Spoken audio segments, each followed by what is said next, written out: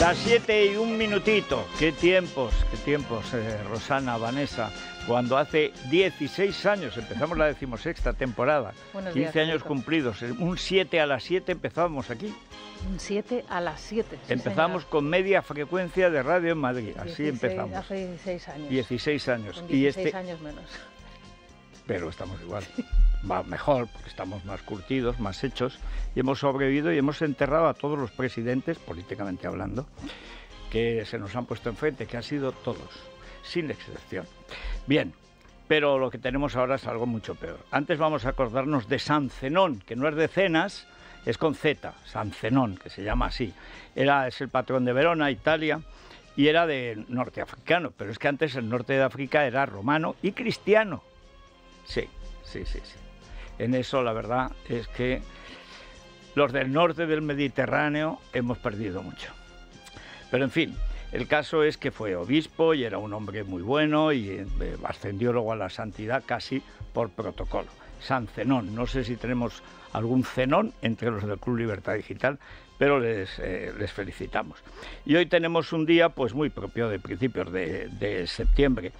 Va a llover algo en el norte y va a haber algo de viento en el este y, las temperaturas pues bueno, pues esta especie de verano tonto que hay siempre en septiembre, el verano indio le llaman en América, que es que en realidad llega prácticamente hasta octubre, incluso en octubre, que es la esta época, bien la que me gusta, este este pre final de verano, comienzos de otoño, la época de la la cosecha, la época y la y cuando ya a partir del pilar en mi pueblo empieza a nevar. ¿Por qué? Porque es nuestra costumbre y eso del cambio del clima climático es una mentira, pero como un castillo. Solo sirve para, para poner eh, molinazos y placas solares. Bien, pero en Madrid nos iremos a 30-31, la máxima nacional veraniega en Córdoba 37 y la mínima en Soria, pero bueno, esto no es una mínima, 12 grados. Bueno, vamos con el curso que tenemos por delante. Hay tres asuntos fundamentales. El primero, el esencial, porque se carga directamente toda la estructura del Estado. Ahora vamos a ver qué es lo que va a hacer el PSOE, que hará lo de siempre, traicionar a los españoles, lo que ha hecho desde que lo fundaron. Cuando ganan, abusan de su poder y cuando no, golpe de Estado. Y en esa es que no ha cambiado nada. ¿Qué es Sánchez? Largo caballero. ¿Qué es Largo caballero? Pablo Iglesias Posé. Ha habido algunos años con alguna gente poca buena del PSOE que han dado la impresión equivocada de que era un partido socialdemócrata europeo. No. no. Con Felipe fue un partido populista mexicano, su ídolo era Omar Torrijos, el panameño, y que al final pues fue una epopeya de corrupción. Pero al menos era europeo. Con Zapatero ya dejamos Europa. Tenemos, por cierto, a Moratinos cobrando un sueldazo en una oficina de la Alianza de Civilizaciones que pagamos nosotros, porque está visto que los españoles, como no nos quejamos, pagamos continuamente todo, que le han puesto a Moratinos, el de Viva- eh, no es el de Viva el Vino que era Rajoy, este no decía Viva, este se lo bebía, y que es uno de los muñidores de esa especie de, de oficina de corrupción internacional montada por Zapatero y compañía. O sea, multimillonarios sobre la sangre y la libertad de todos los países iberoamericanos que están bajo la dictadura comunista. Este verano hemos visto cómo España, toda Europa, pero arrastrada también especialmente por España, eh, dejaba solo, solo al pueblo venezolano a pesar de la heroica resistencia de María Corina Machado, de Mundo González y de todo el pueblo que siguen movilizados. ¿Y qué hace la Unión Europea? Nada con sifón, porque es Borrell, que es el sifón de la nada. Un cobarde, un traidor al servicio de Zapatero y de Sánchez. ¿Y qué es Sánchez? Sánchez es lo mismo que Moneidero. Lo mismo, exactamente lo mismo. ¿Qué está haciendo? ¿Cómo favorecer a Maduro después de haber perdido las elecciones? En las cifras últimas que tenemos hay veintitantos muertos, aunque según algunos hay 70 desaparecidos y unos 1.600, 2.000 presos políticos están siendo torturados por los amigos de los comunistas de- del gobierno, de los socialistas del gobierno, de los separatistas del gobierno, porque todos los socios de Sánchez, sin excepción, apoyan al genocida torturador y asesino y gran ladrón eh, Maduro. Y Delci, naturalmente. Recuerden que es que con Delci empezó la creación de la inmensa fortuna de los Sánchez, de los Sánchez Gómez, de los Sánchez Sánchez Gómez y toda la patulea que rodea este gobierno. ¿Qué es lo que sucede en estos países? ¿Por qué han caído en el comunismo, en la dictadura y, y además en la pobreza natural? Salvo los comunistas, en una dictadura comunista todo el mundo lo pasa muy mal. Pues lo que ha sucedido es que se han cargado la ley. Y en España estamos viviendo exactamente ese proceso. Yo, yo creo que los 16 años que hacemos ahora, diciendo, eso de que aquí no puede pasar, lo decían los cubanos, lo decían los rusos, lo decían los chinos, lo decían los venezolanos, y claro que puede pasar. Es más, está pasando. Está pasando de una manera descarada. Cuando les han pillado robando al inquilino de la Moncloa, a su señora, a su hermano, a su partido, a su gobierno, ¿qué es lo que han hecho? Atacar a los jueces. La semana pasada, pero la semana pasada, sea, Sánchez ha ampliado su querella contra el juez contra el juez que instruye uno de los muchos casos de corrupción que tienen él y su señora mano a mano. No se puede separar nada, hacía Begoña a espaldas de Sánchez, todo lo que hacía Sánchez era para Begoña. Son innumerables las, pruebas. ¿Qué hace? Pues como, como lo que hace Maduro en Venezuela. Como no puede cargarse las pruebas, vamos a cargarnos a los jueces y a la oposición. Y esa es la situación en España. Pero mientras abandonábamos, bueno, Estados Unidos, Estados Unidos es una cosa verdaderamente pavorosa. Con Biden, el sector petrolero, pues presionaba para que no, no hay que romper con Venezuela porque nos da petróleo barato. Y ahí están. Y qué mala, qué mala es Kamala. Kamala es Kamala Kirchner. O sea, las ideicas de esta tarada, hemos, eh, han echado a uno porque es una momia y a la otra que tenían recluida en la nevera porque es de una inutilidad vertiginosa, ahora nos la presentan como la gran solución, la alegría. Es, como dice Jamacuca o Cucamala Gamarra, una inspiración. Pues después de una inspiración cuca, expiración. No, no, expiración no, aunque políticamente lo mereces. Una de las, de las, de bases, las bases fundamentales del programa de Kamala Harris es controlar los precios decir, Cristina Kirchner, los precios cuidados, que es lo que han hecho todos los comunistas en cuanto llegan al poder, y desde luego en la oposición. Dirán ustedes, no, pero eso en Estados Unidos no puede pasar, que no puede pasar. Claro que puede pasar, pero por supuesto que puede pasar. Todo puede pasar. Brasil acaba de cargarse la, red, eh, la red eh, Twitex, que es Twitter, sigue llamando Twitter la gente, pero es X, pues Twitex. Pues se la ha cargado Lula y dice que no son un pueblo mendigo, hombre, un pueblo que tiene a un ladrón de presidente no puede presumir de nada. Noble pueblo brasileño si no estuviera gobernado por canallas y ladronazos. Pero ya lo había hecho antes Maduro. Si es que coinciden, y lo hará AMLO en México mañana. Ya está en marcha la dictadura comunista mexicana. Pero en marcha, van a cambiar la constitución sobre la marcha y se quedarán el tiempo que quieran. Esto está sucediendo en todo el mundo en todo el mundo. Y por supuesto va a pasar en España. O se pone coto rápido, o se frena, en la medida de lo posible, el tiempo que, se, que tarde a, a Pedro Sánchez, o la dictadura de Sánchez, que técnicamente ya es un hecho, la tenemos encima con, con tambores y trompetas. Este verano, además, para investir a ella, y esta es clave, esta es la cuestión clave ahora en España, Sánchez ha decidido entregar la hacienda pública a Cataluña. No que Cataluña corte con la hacienda pública, no, no, no, no, no. Eso sería, eso sería una suerte para todos. Para nuestros bolsillos, desde luego. Cataluña es un cáncer político y una ruina económica para todos los españoles. Pero es el 19% del PIB, es decir, la quinta parte. Y quiere no pagar impuestos, recordar, recoger, trincar, robar, ella, porque esto es ilegítimo absolutamente ilegítimo. No se puede romper la hacienda común, la caja común. Esto no lo respeta la Constitución, que ya se equivoca en lo del cupo. Nunca debió hacerse así.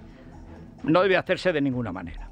Pero eso, eso está perdido, el País Vasco está tan perdido para la economía como para la moral, la ética y la decencia. Se comerá muy bien, pero allá ellos. No, no, no, el problema de Cataluña es de supervivencia del Estado. Pero no por lo que se lleven, sino porque lo que, lo que quieren seguir robando. Es que también, como en el País Vasco, resulta que hay que seguir pagando la seguridad social, las pensiones y, por supuesto, la infraestructura. Porque ¿qué mejor puede hacer un tío de Badajoz que pagar los trenes de Barcelona? Aunque no le llegue el tren, pero así hay un gobierno de progreso.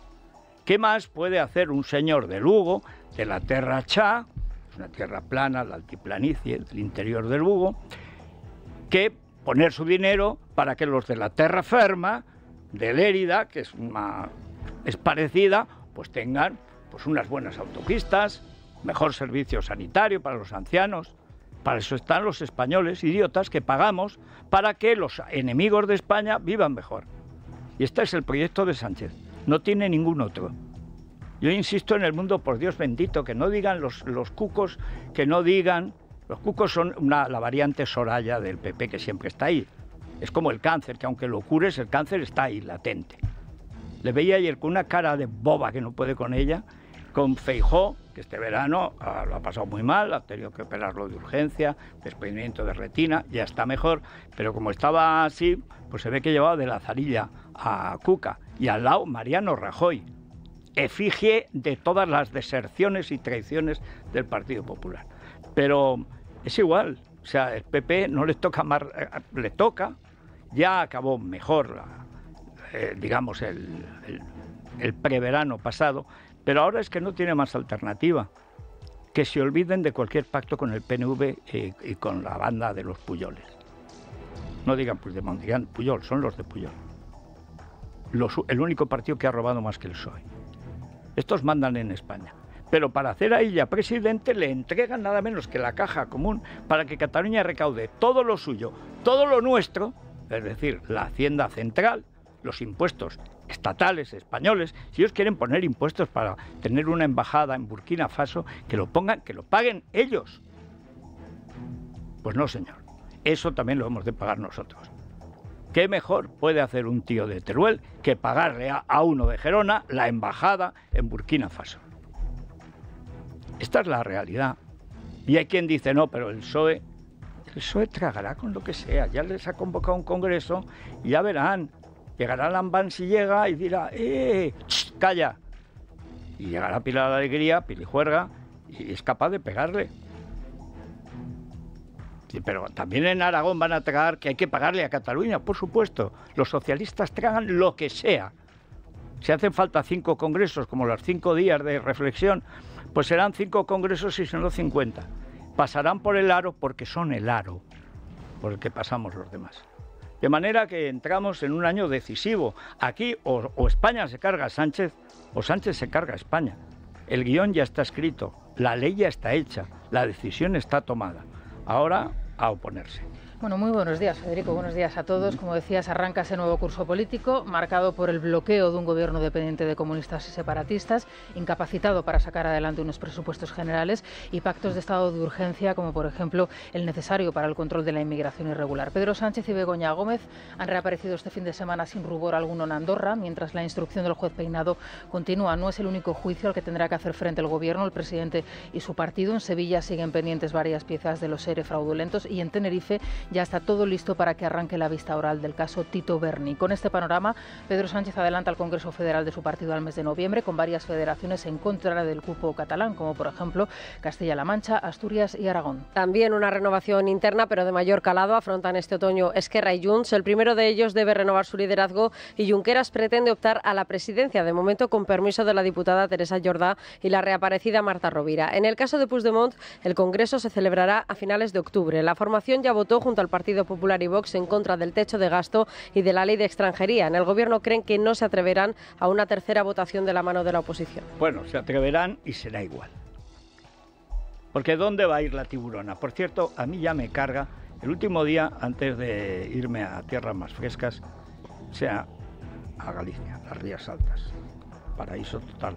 Pero ahí solo puede ir gente educada, porque esa gente es tan buena, es tan educada, allí puede ir solo gente educada, bien educada. Estás en, Galicia, en esa zona de Cedeira, Villarrube, hasta el Cabo Ortegal, es como con mi amiga Alicia Sastre, que es la que me buscó una casa por allí, eh, qué es lo que queda de España. Esa, esa, esa especie de hospitalidad, deferencia, educación, respeto, distancia, no vocear.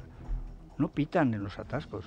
Bueno, casi no hay atascos. Tienen unas carreteras Galicia que ya quisieran las, la autopista, las autopistas a Madrid por Castilla, ya quisieran ser como las autovías de Galicia. O sea, tiene una infraestructura. Yo he conocido la Galicia de hace más de 30 años, antes de Fraga, y la de hoy es otro país. Tiene todo lo bonito de antes, pero además se puede ir sin que te, te caigas por un barranco. Pero qué gente tan buena. Ahora ya digo, ¿eh? a Cedeira y por ahí solo puede ir gente educada, bien educada, porque allí son educadísimos. Bueno, conviene, eh, pero conviene recordar esto. Por cierto, Cedeira increíblemente tiene un ayuntamiento socialista y está limpia. Ya digo que es una cosa milagrosa. O sea, por eso Lancelot y Lanzarote, su familia se fue a Cedeira.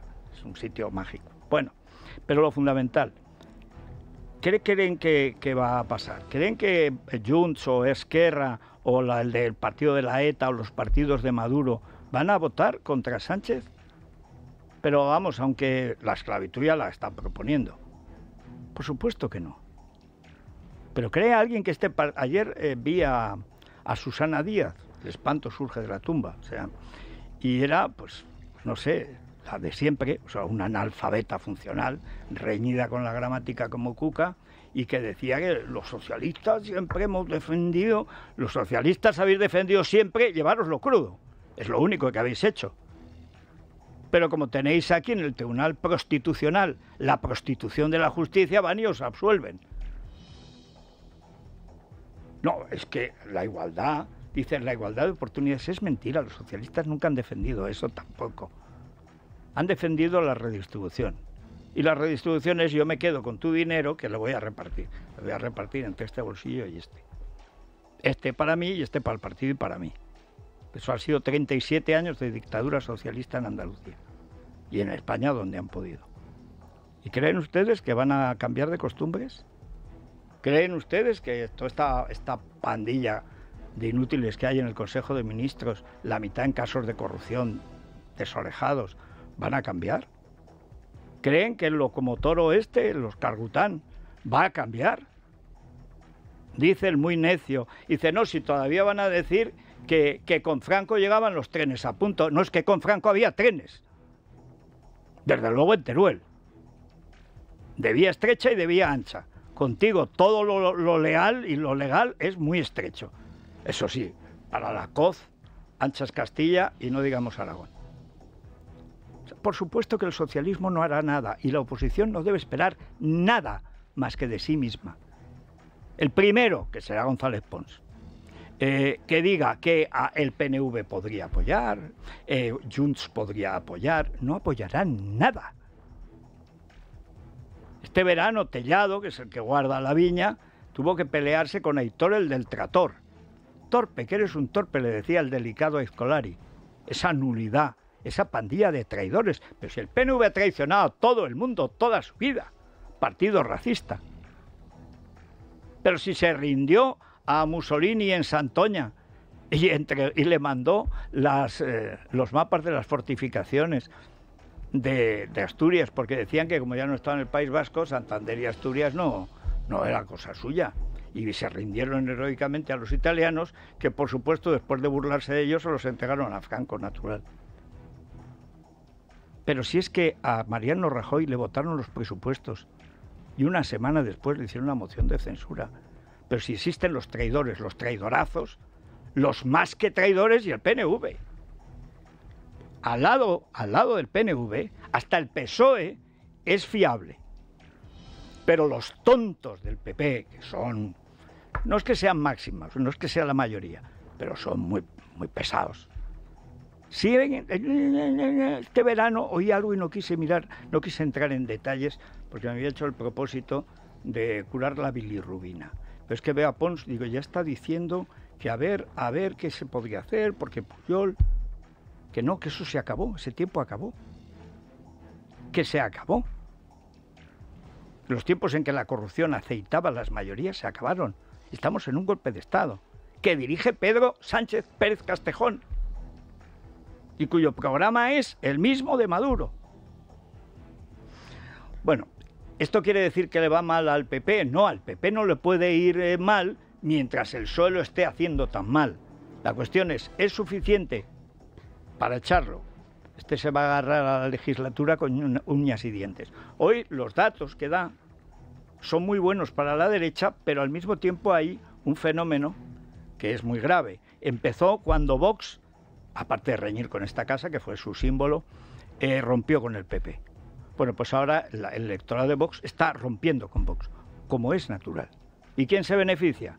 Alvise, es decir, Sánchez. Sí, el Mundo y el País publican sus respectivas encuestas de inicio de curso político, otorgando al PP una mayoría en ambos casos, un 35,4% y un 34% respectivamente, 159 escaños frente a 123 que conseguiría Pedro Sánchez en el estudio de Sigma 2, diferencia muy abultada que no lo es tanto en el caso del diario de Prisa, donde el PSOE se mantiene por encima del 30%, solo 3,5 puntos separan a las dos opciones, al PP del Partido Socialista. Vox se mantiene como tercera fuerza política y Sumar por encima del 6% como cuarta. La novedad, lo que comentabas Federico, la entrada de Alvise Pérez con bastante fuerza, se acabó la fiesta, según la encuesta de Prisa, roza ya el 5% del voto, mientras gracias a un trasvase cuenta el mundo de 412.000 exvotantes de Vox. Bueno, no dirán que nos lo dijimos. No lo dirán. ¿Quién queda de los que fundaron Vox? Uno, el caudillo y detrás su Rasputín Kiko Méndez Monasterio, que es como decir Julio Ariza. Eso es Vox. No queda nadie de los fundadores. Bueno, Ortega Lara, pobre. Nadie. ¿Quiénes están? Pues los gemeres azules de, de Santiago Abascal. Claro, como se ha puesto antisistema, rompe con el PP para ser como Alvise, no, para votarte a ti ahora, después de haber defendido la Constitución, votamos a Alvise, que es votar a Putin y que estalle todo. Es decir, la parte gamberra, estúpida y suicida de la derecha o de la extrema izquierda, lo que quieran ustedes, que les da lo mismo Juana que su hermana. Ellos creen que es lo mismo el capitalismo que el comunismo. Hay una colección de imbéciles, pero en España, en Europa y en todas partes, que es que no caben en caja. Y eh, naturalmente, pues hay un millón de votos de idiotas. hombre, no les llame idiotas, idiotas y gilipuertas, además. Y encima imbéciles. Y con ese, esa puerta que ha abierto a Bascal a la demagogia, porque lo que contenía ese mundo de idiotas, repito, pongan intereconomía, estamos a punto de no descubrir América. he dicho intereconomía, ya no existe. Ha, cambiado tantas veces de empresa Liza que se me olvida. Ahora creo que es el toro, el, el becerro de oro. Bueno, pero pónganlo. Es que hay gente que piensa que, bueno, ¿qué más da si la Tierra es plana o redonda? Sí da, sí da, claro que da. ¿Qué más me da el PP que el PSOE? Ah, te da lo mismo. Te da lo mismo que mande la ETA o que no mande. Son igual, pero ¿cómo, no cómo van a ser igual? Pero si estáis apoyando los de Vox, no estáis apoyando a cinco gobiernos. Nos hemos ido, sí, pero no de las nóminas, ¿eh? eh hace diez días se fue otro de Baleares. En realidad en Baleares se han ido todos varias veces. Pero hoy o mañana votan al presidente del Congreso de Baleares y nadie sabe qué va a pasar, porque está pendiente de un voto y, ese es el que se ha ido, pero se ha quedado cobrando, claro. ¿Qué pasa? Que ante este desbarajuste de gente que ya no sabe si está en los tercios de Flandes, en la Legión extranjera o está en First Dates, pues eh, alvise, lo más parecido que hay. Y el resultado, pues malo. Hay una costumbre que, si me permite, ahora que ya se ha recuperado afortunadamente de la vista y le felicitamos a Fijó, yo prohibiría los maitines. Desde tiempos de Fraga se ha comprobado que cada vez que se reúne la derecha se estropea. ¿Por qué? No lo sé pero es así. Feijó reúne a su dirección tras un agosto agitado. No se esperan cambios entre los populares, pero sí el impulso de perfiles que se han mantenido en un segundo plano. En Pontevedra, el presidente del PP abría curso el fin de semana denunciando un gobierno decadente y paralizado. Desde el Partido Socialista, en la fiesta de la Rosa, celebrada en León, Luis Tudanca se refería a un Feijó frustrado al que pedía calma. Irache García denunciaba el modelo popular para la inmigración ilegal que, según decía, consiste en la deportación masiva. Y os prometo en este inicio de curso político que vamos a acabar con la concepción bananera que tiene Sánchez del gobierno, de las instituciones y de la ley. España no es un país bananero, no tiene una democracia bananera y acabaremos con esa concepción del gobierno, de la ley y de las instituciones que tiene Sánchez. Amigos, os aseguro que las fuerzas y cuerpos de seguridad del Estado no se van a volver a someter a ningún ridículo de fugas televisadas por el interés del gobierno. Creo que es importante que seamos capaces de no permitir esa realidad paralela que el Partido Popular está creando con respecto a nuestro país. Es una realidad paralela negra, es una realidad paralela basada en el odio, en la distorsión, el enfrentamiento. No podemos permitirles que jueguen con nuestro país, porque eso es jugar con el bienestar de los hombres y mujeres de nuestro país. ¿Cuál, ¿Qué país? El que tiene que pagar al partido de la ETA, que tiene que pagar la seguridad social de los racistas del PNV o el que tiene que pagar ahora el Estado parásito de Cataluña. ¿Qué país? ¿Qué país? ¿Y la chita? ¿Qué país? ¿El que, el que sirve a Maduro? ¿El corrompido hasta el tuétano? ¿El que le compra más petróleo que nadie? ¿O más gas? ¿O lo que haga falta a Putin? ¿Qué país? Donde no se puede estudiar en español. Lo primero que ha hecho ella, policía política contra el idioma español, el mayoritario del idioma materno, de la mayoría de la población de Cataluña. Esto no pasa en ningún sitio, no ya de Europa, del mundo. Y aquí nos hemos acostumbrado a que pase. ¿Cómo? Pues comiendo con una izquierda traidora y con una derecha idiota. Entonces, pues, eh, pues mal lo pone usted, sí, pero siempre habrá algo peor que otro. Yo no aspiro a que el PP sea bueno, con que sea mejor que el PSOE es suficiente. Y sobre todo, lo que no veo es manera de arreglar esto por una razón. La derecha cree en la ley, creemos en la propiedad y en la ley. Y esta ley se ha roto. La ley se ha roto. El gran problema es que hay que esperar a las elecciones. ¿Por qué? Porque la derecha no es golpista, no toma la calle. Y cuando hable de las fuerzas y seguridad del Estado, Feijó, que, que acabe de recuperarse de la vista. ¿eh? Que haya policía patriótica de Sánchez haciendo barbaridades. Lo último lo de Nacho Cano, eso fue lo penúltimo, pero todos los días. ¿eh? La policía de Marlasca no es policía, es una banda armada del gobierno. En fin, nos conectamos con el planeta, con Iberia. Seguimos con Silvia Ribeiro y Luis Díaz, que es este señor con aspecto de anuncio de Canarias. ¿Todo bien, Luis? Todo bien, muy bien. ¿Dónde has disfrutado de agosto? En Menorca hemos estado. Mira tú, ves la aristocracia, eso es ya una cosa fetén, fetén. bueno, vamos con lo de los jueces. ¿Qué es lo que más odian eh, Sánchez y sus socios? El Estado de Derecho, que la ley esté por encima de ellos. ¿Y qué, qué lo representa mejor que la toma, que el control de los jueces? El prostitucional ya lo han prostituido. Y el Consejo del Poder Judicial están en ello. El acuerdo que consiguió el PP, porque metiendo miedo con Europa, total, que salió, es bastante bueno para proveer las plazas que quedan. Pero esto lo que quieren es echar a Marchena, por simplificar. Pumpido y su banda, o sea, los de Sánchez, pero el jefe del golpe es Pumpido. Sánchez no podría dar ningún golpe de Estado si el golpista en jefe no fuera Cándido Golpe Pumpido. Y están en ello, están en ello. Total, que el Consejo General del Poder Judicial se acuerda cuando estaba bloqueado pues ahí sigue. Los vocales del CGPJ se reúnen hoy para tratar de alcanzar un acuerdo que permita designar al nuevo presidente del órgano de gobierno de los jueces y también del Supremo.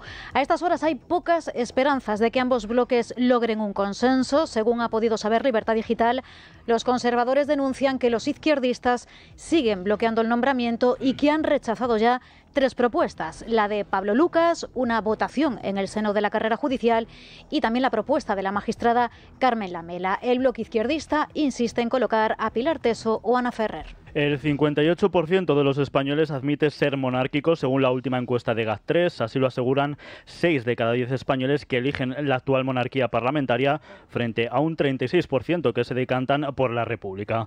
Además, un, 54% de los encuestados creen que Felipe VI ha fortalecido la institución. Sobre la figura de la princesa Leonor, 3 de cada 4 españoles creen que reinará logrando un apoyo similar en todas las franjas de edad, pero especialmente entre los más jóvenes. Y hay que reconocer que basura que han sido las Olimpiadas de París, donde metieron en patera a los deportistas y hicieron como el Festival de Eurovisión para cuerpos diversos, cuerpos diversos, una Olimpiada.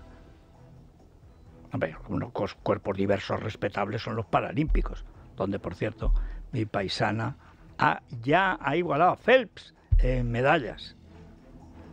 Que qué mujer extraordinaria. Y ahí estaba Leticia. Le da unos meneos, digo, a ver si me la tiras de la silla, o sea, porque está, está vigorosísima. Pero el rey, y la, sobre todo la la infanta, es que era, es que iba ni medalla. Iba Sánchez y tenía que irse por la puerta de atrás. Poco más y ahoga a los del waterpolo. Qué, qué, qué cosa. Está Leonor ahora de Guardia Marina. Madre mía. Todos buscándole novio. Azcón, eh, por cierto, fue el que despidió con el alcalde de la alcaldesa de Zaragoza, despidieron a Leonor, que casi llora, casi se va a ser reina, no puede llorar. Es una tradición de, la Casa Real Española, venida de Portugal. La madre de, Felipe II, Isabel de Portugal, la, la reina más guapa hasta la que viene, pues esta tuvo a Felipe II. Es una cosa que pasa, se casan, tan, tan, y llega el niño. Y entonces cuando llega el niño, pues el parto no, no había epidural en la época.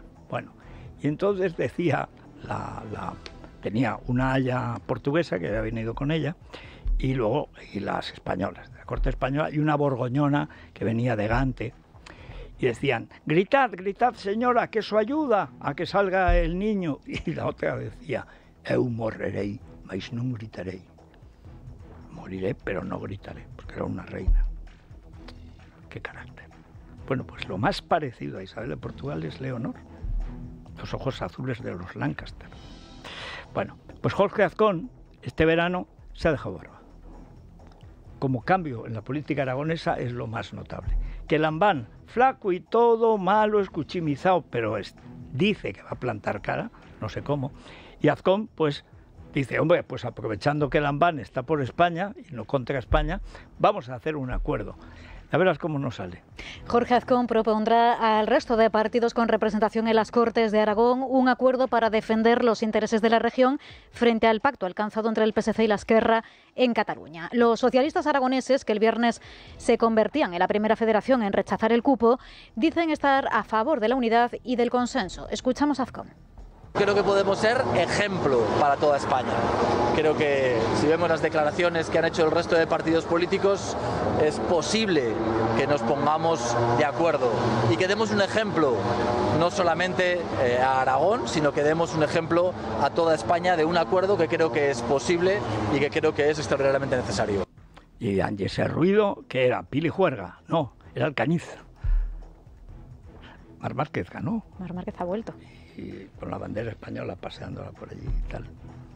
Pues hombre, no, la idea es buena. ¿Cuál es el problema? El problema, como en todas partes, es la izquierda. Comunistas y socialistas están contra España.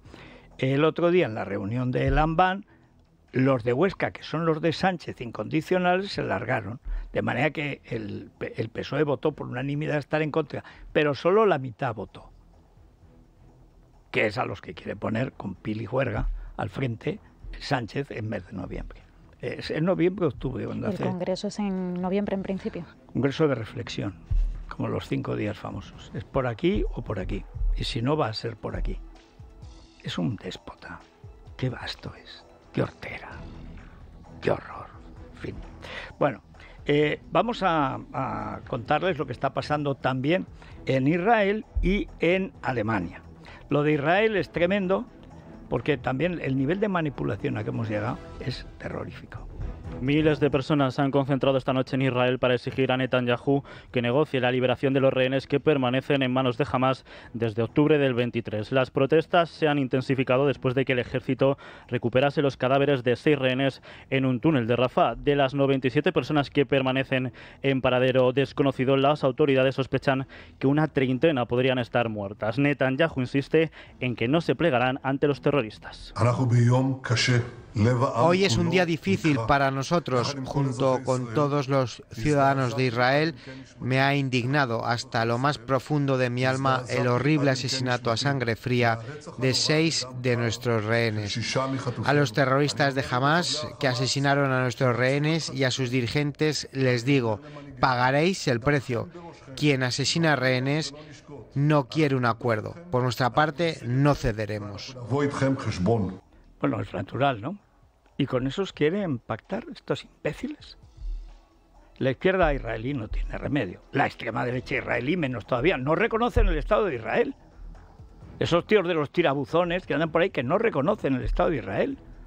De que están allí, porque bueno, pero que en que a la guerra que vaya otro. Es una cosa alucinante. Pero es la única democracia que hay en esa zona. Y por eso se la quieren cargar. No es, no es porque sea un gran, eh, gigantesco país, no es porque tenga un gran poder militar que lo necesita para sobrevivir. Pero ahora vamos con lo que ha... No, no ha sorprendido, ya se habían puesto la venda antes de la herida. Eh, ayer veía en YouTube que sacaban enseguida El País y Televisión Española, que ya no se distinguen, bueno, con la vanguardia, la retaguardia es Televisión Española, eh, todos, bueno, ya se sabía lo que iba a pasar en Alemania. No, en Alemania lo que pasó es que en Solingen, un tío al que habían dejado libre cuando tenían que haberlo expulsado, se puso a degollar gente. Pero es que es el pan nuestro de cada día. Dice que gana la extrema derecha. No, no. Pierde la izquierda complaciente con la inmigración ilegal y con la religión del amor, con el Islam. Esto empieza con Angela Merkel, la siniestra Angela Merkel, la pestífera Angela Merkel, la que pacta con Putin, cierra las nucleares para depender del gas ruso, más barato. Y, que, y cuando llega la guerra en Siria, dice que eh, Alemania puede admitir un millón nuevo cada año, un millón. ¿Quiénes entraron con los sirios? Ni sabían, ni controles. Pero recuerdo perfectamente, además recuerdo haberlo comentado contigo, que estaban entrando por la frontera y les hacían a los alemanes, les hacía el, el moro de turno, que no sé quién era, pero no parecía sirio, hacía así. Eso entró.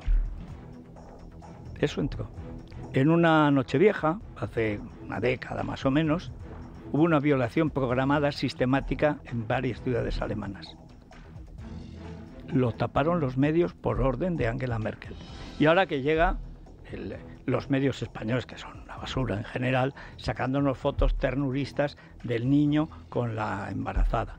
Ahora, no, no, no pidan el nombre del que mató, no, no, no, TPU, porque hay que respetar al... Refugees Welcome, ¿No recuerdan? Pues el héroe del acuario se llamaba Pedro Sánchez. Y el cartelón, que era una sábana sucia, lo había puesto Carmela, Carmena. ¿Qué ha pasado? Pues gana, gana la AFD, que es la alternativa por Alemania, pero el problema es que es Putin. Es Putin. Está como la izquierda israelí. Vamos a entendernos con nuestros verdugos, hombre. Hazles ese favor en la Alemania del Este, además, tienen ahí un retén tremendo. El resultado era, era previsible, pero es que hay que decir que era inevitable.